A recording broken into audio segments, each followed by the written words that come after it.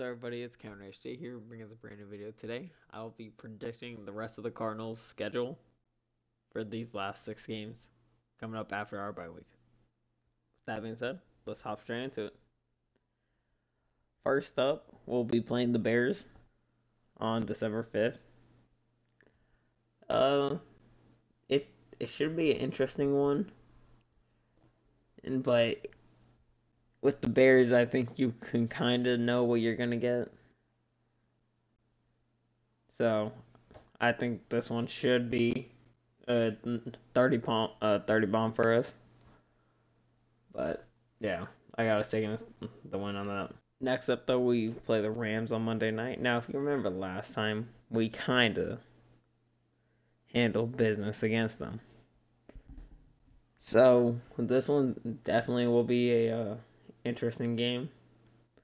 So far in primetime, the Rams haven't done anything too great, and this is going to be our second primetime game of the year. So we'll see how we can play it. But I, I do think we will end up winning this game. It's going to be a very close one, and we're probably going to win off field goal. But like I said, I, I got us winning it. Next up, Lions versus Cardinals. I swear, it, it's tough because you know, it's kind of like the Panthers thing. It's so easy to rule them out, but they've also beaten us like the last four times we played them. So, you know, because we've never beaten the Lions with Kyler, and we've played the Lions every time with Kyler every season. So, yeah. Hopefully, we can finish them off. Like I said, though, it's a difficult situation and I'm not gonna lie, if there's a game for us to lose, it's probably this one. I'm not gonna lie, the Lions will probably still be seeking their first win, and it wouldn't surprise me if if they came to play on this one. So, but I do think we can manage and step up to beat the Lions. So. And then we got a Christmas game. We'll be playing the Colts, which is uh, it's it's gonna be interesting with Jonathan Taylor playing how he is now, and just Carson Wentz stepping up. That team could very well be the uh, leader of the AFC soon. So we're gonna have to find a way to cut them down.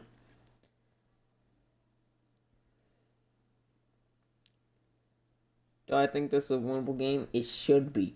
But the way the Colts are able to just defeat some of the people they play is just in such a interesting fashion that it's it's definitely gonna be tough. It definitely will be tough. But I think we can I think we can get that one out. So Cowboys, this is another one of those games. Easily another one of those games where we're going to have to squeak this one out. It's going to be very tough. Now, I could be completely wrong. This could be like another Ram situation, or we just get blown out. But this game,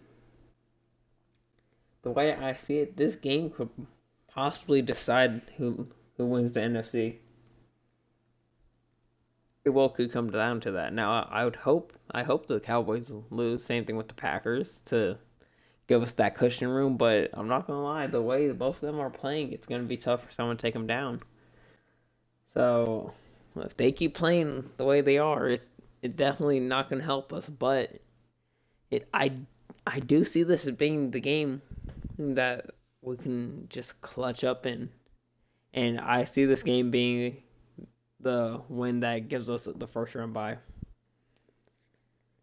And us having the first round bye I think we'll lose our last game against Seattle. That's the way I personally see it because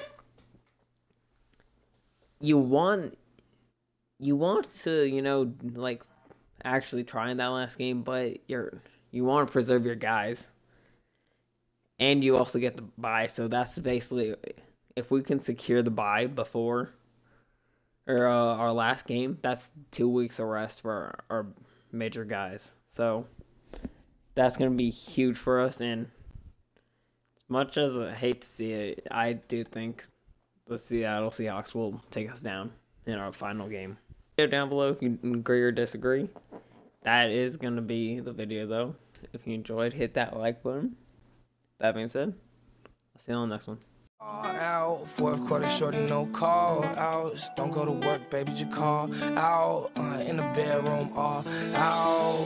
Perks on the counter, I can't wait to take them. Blunts on the counter, can't wait to face it. Bad little bitch, yeah, she be my favorite. All my songs, they all on her playlist. I don't really know how to say it, but I'ma say it. I don't really know if she take it, but she can take it. I don't slow it down unless I'm in the matrix. Presidential brain, that bitch like Sarah Palin.